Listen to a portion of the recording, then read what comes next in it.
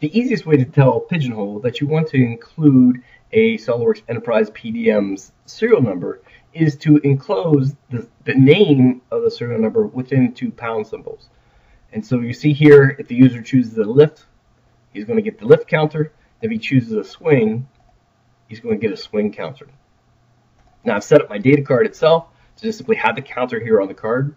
And then what I've done just to show you, I can then take that information. So in this case, I'm going to just take the type with the width and the counter and put that value in to generate a part number.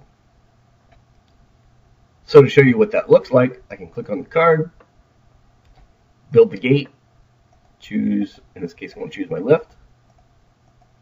You see the user sees the name of the counter. It doesn't actually take the number yet because in case the user count can cancels or chooses a different type, I wouldn't want to take up a count. But as soon as he takes a, a OK, then you'll see that that counter then gets populated up. And just to show you it's a little bit different, let's go ahead and choose a swing gate this time. Choosing the swing and watch the number be different.